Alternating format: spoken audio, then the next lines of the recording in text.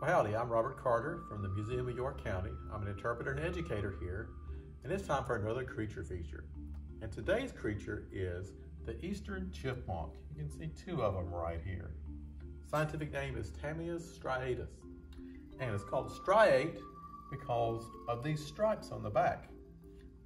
It has kind of a, a white or cream colored stripe with black on the edges there. So the stripes are very, uh, very prominent can see at the, the back of the animal, there's kind of a, a reddish kind of a rust, rust colored patch there. And then you have the tail. It's not extremely long and it's not, uh, it's covered with hair, but it's not very bushy. Even though they are related to the, our gray squirrel, they don't have the bushy tail that you find in the gray squirrel. And you can see right here, they have pretty large cheek pouches. And that is so they can put food in there. And you have probably seen uh, Chip 'n Dale or Alvin and the Chipmunks, and you've seen sometimes they will stuff their faces, and that's, that's what they do. They actually do that.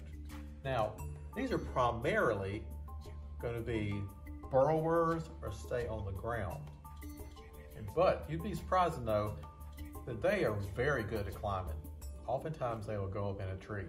You just don't see it because they're hiding from you.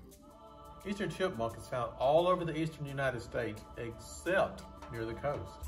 They do not like to be in, in the sandy soils.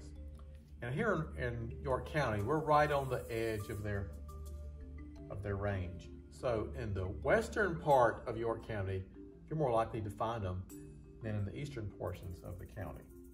Now they are primarily seed eaters.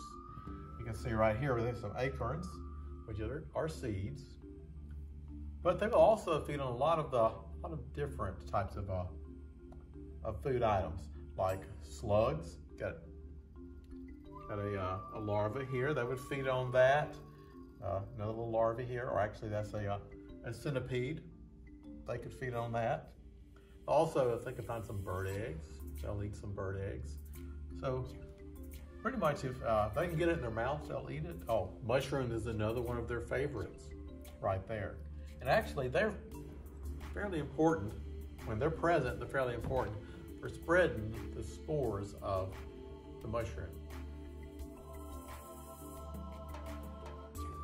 All right, so you see the nuts here, down here and up here, and they uh, they will bury these when they're preparing for winter. And they they do it two different ways. They can be a scatter hoarder, where they just bury them in various areas in their territory, or they can be a larder. Right here is a larder. It's where they're storing them up underground. And sometimes they do both, scatter and, and larder. But now if they scatter them, and it's in an area where there's a good bit of moisture, when there's a lot of moisture, you're better able to smell or detect something. So oftentimes when they do that, gray squirrels or other animals will pilfer or they'll steal their food. So in many cases, they do collect a larder and they will, they will keep this for the winter so they can get through. Now, you don't see these as often in the winter. They like to stay underground. This is a, a pretty typical uh, burrow here. That, they'll get down maybe three feet sometimes, but they have the, this burrow. Uh, it'll usually have just have one opening um, sometimes it may have several chambers that have chambers where they keep their food and other chambers where they'll, they'll sleep. Now during the winter, they don't actually hibernate, but they will kind of, uh, they'll slow their body down some and go into what we call a torpor, which is kind of like a, uh, kind of like a sleep. And then on warmer days, they may actually come out and search around for some food. And, and oftentimes, you'll hear them before you'll see them. Because when they get disturbed, or when they're, they are trying to defend their territory, they make different noises. They can make a little chip noise, it's really high pitched and distinctive. They also have this little trill noise that they make, and that helps to defend their territory and also warn other chipmunks that danger is close by. Basically, if there's a some kind of raptor around, you know, a hawk this is a great snack for a hawk, so they're gonna sound the alarm when they see that. And just about any type of carnivorous mammal will try to eat a, uh, eat a chipmunk, along with reptiles. Um, a lot of animals have chipmunk on their menu. So they are, they tend to be very alert, always looking for danger, and they're gonna sound the alarm, which is common with a lot of rodents. All right, now the eastern chipmunk is diurnal. That means they're active during the day. So you're not gonna see these out, out at night. Now, they breed twice a year. So during the, in the spring and then later in the summer, they're gonna produce some offspring.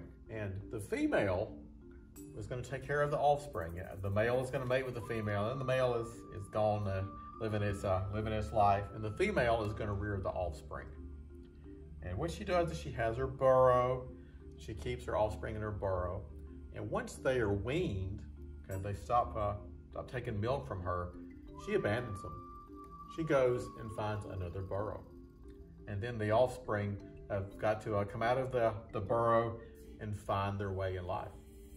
Now, the best habitat for an eastern chipmunk is going to have some stumps, some rocky outcrops, something like that, where they're able to get a little hole already started. You know, it's a lot of, lot of work to dig one of these holes. If you can find an old stump, like in this case, there's a rotten root right there. There's a hole right here. So that's a starting place for chipmunk to make his hole. That makes his life a whole lot easier when it's time to, uh, to build a burrow. So they're gonna look for that kind of habitat. And they really like kind of deciduous forests. Don't find them as much in a, in a coniferous forest. Um, you can find them in town though. You have uh, some nice uh, deciduous trees in your, your yard, some hardwood trees. They can, they can live there as long as they have a place which is kind of undisturbed and where you had some old trees where they can uh, start their burrow. And sometimes they will even live under your house. I lived in a house one time where I heard chipmunks all the time and they were just under the house. So the next time you're out in the woods on a, a hike somewhere, keep your ears peeled for a chip or for a trill.